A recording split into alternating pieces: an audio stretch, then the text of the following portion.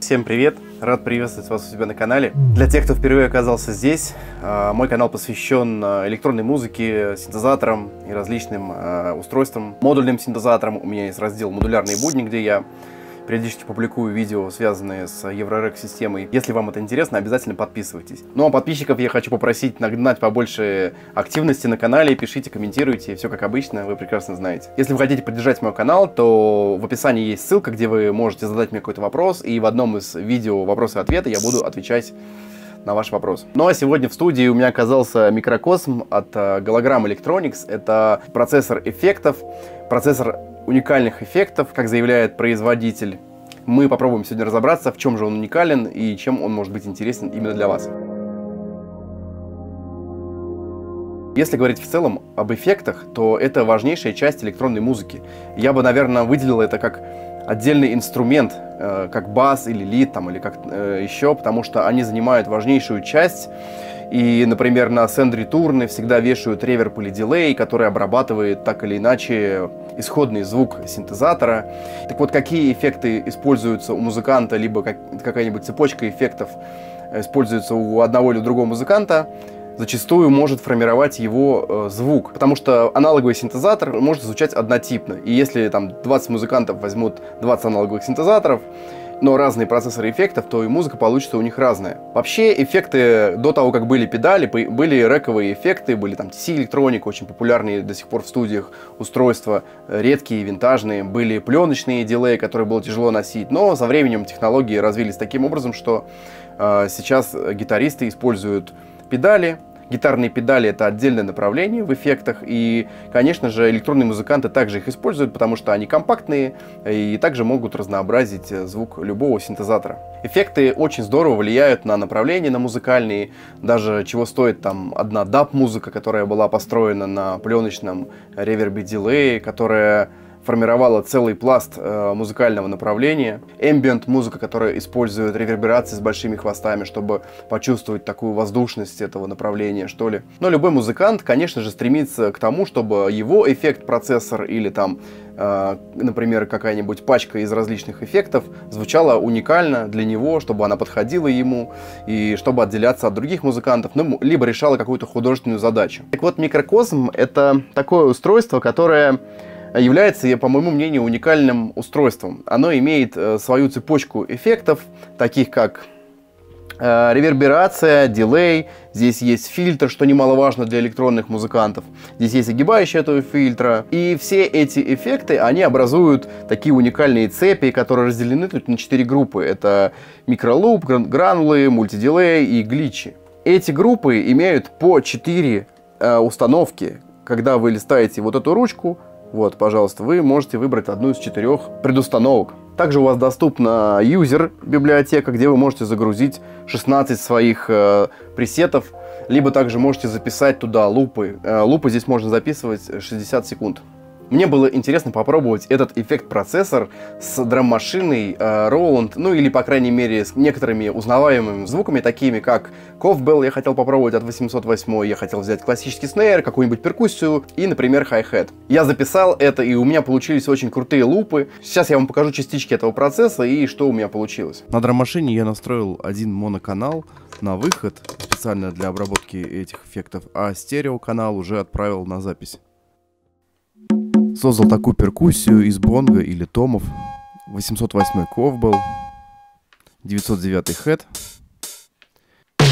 И вот такой снейр. Я чуть пониже по пичу опустил его. Такой винтаж получился. Так, эффект уже включен. Вот чистый сигнал. Режим мозаик сейчас, а вот уже обработанный. Чаще всего я буду использовать обработку на максимум, чтобы получить какие-то абсолютно новые интересные звуки. С помощью этого потенциометра можно выбрать один из эффектов. И у каждого из этих эффектов есть по 4 вариации. Они именуются как A, B, C, D. Сейчас включен режим мозаик, вариация A. Ручкой Activity мы можем регулировать плотность эффектов. Не громкость, а именно плотность помощью микса мы можем контролировать громкость. То есть влево у нас играет чистый сигнал, а вправо обработанный. ну, что-то посередине будет микс из двух сигналов. Это ручка фильтра, то есть сейчас мы подрезали обработанный сигнал, а оригинальный не фильтруется. Ручка Shape, э, она применяет огибающую к фильтру или громкости. Repeats это не совсем дилей, он как бы определяет продолжительность этого эффекта.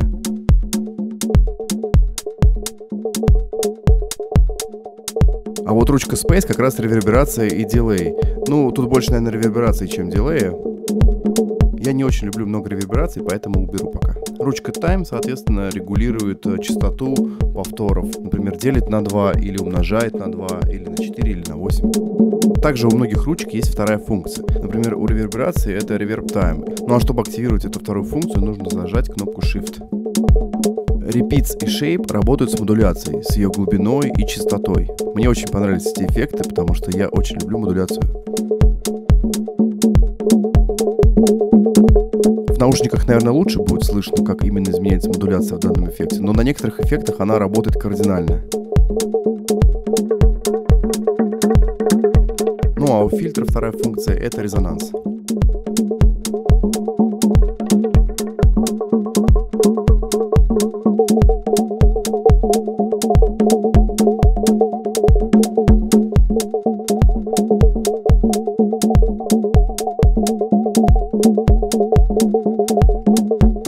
Так сигнал смешан с оригинальным, а так полностью обработан.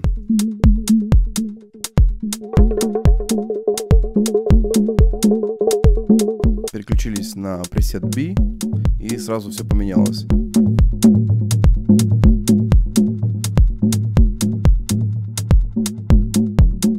Режим мозаики, он как бы воспроизводит петли на разных скоростях. Правда, не совсем понял, что это значит, но изменение по тональности на лицо обычные томы мы превратили вот в такие.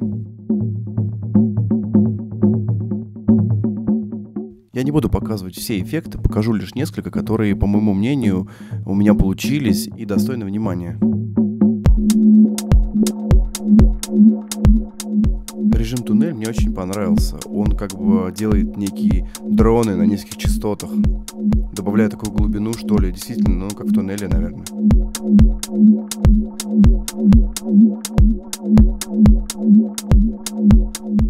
Модуляция здесь, очевидно, работает уже более явно.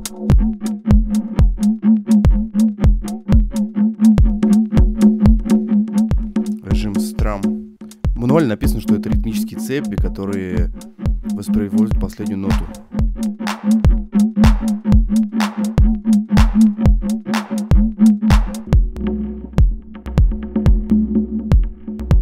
Warp, он относится к дилеям. Это такой дилей с фильтрацией, и также он меняет высоту. Понравился мне очень Warp режим.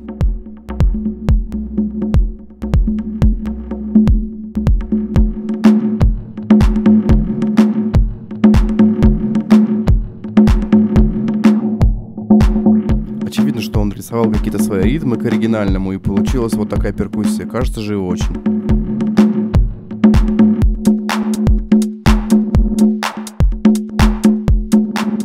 Гличами, честно говоря, у меня не очень завелось. Мне показалось, это очень специфическая такая обработка, которую я на самом деле не нашел применения и даже, наверное, не буду использовать ничего здесь.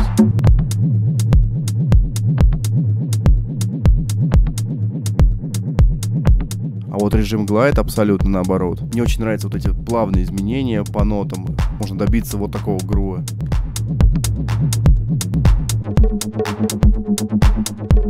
Режим секвенция говорит сам за себя, то есть педаль создает ритмические какие-то секвенции. Можно попробовать поменять время, активность, повторы, огибающую.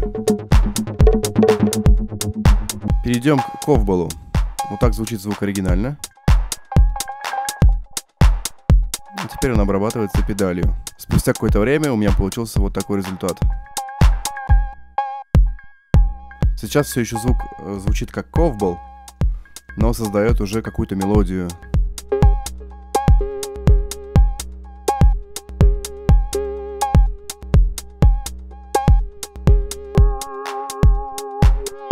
А здесь уже ковбол сложно узнать.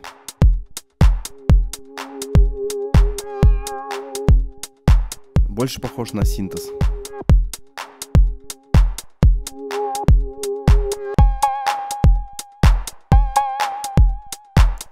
Очевидно, как работает модуляция звука.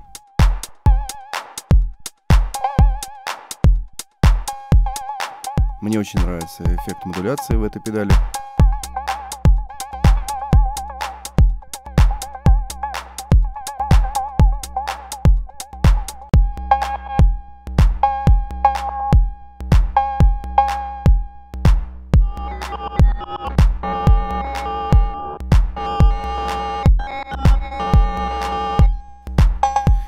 Я не пробовал с гличами, все так не получилось у меня добиться хорошего результата. Но я думаю, что точно кому-то будет полезен этот режим. Все ведь зависит от музыки.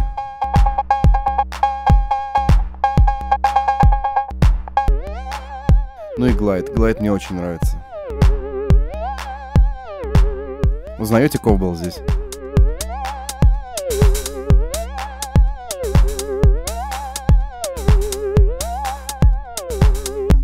Переходим к снейру. Появилась такая агрессия в музыке.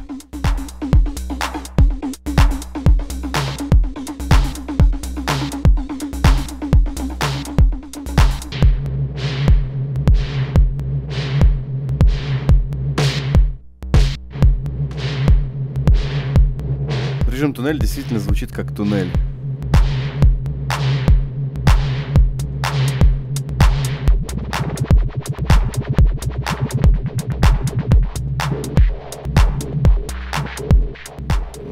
Какой-то sample and hold.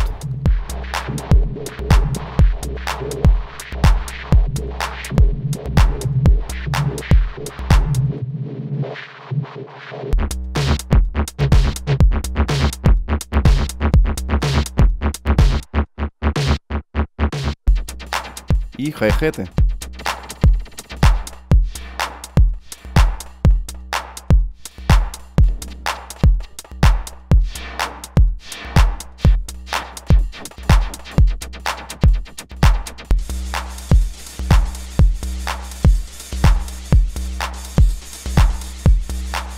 Довольно пространственный эффект получился. Можно отфильтровать его немножко.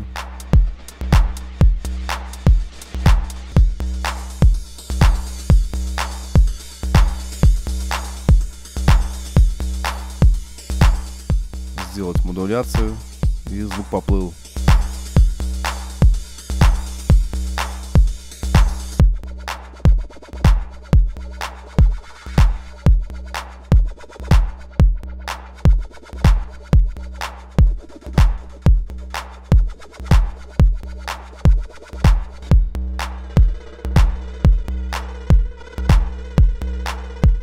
Очень полезно для создания каких-то перкуссий.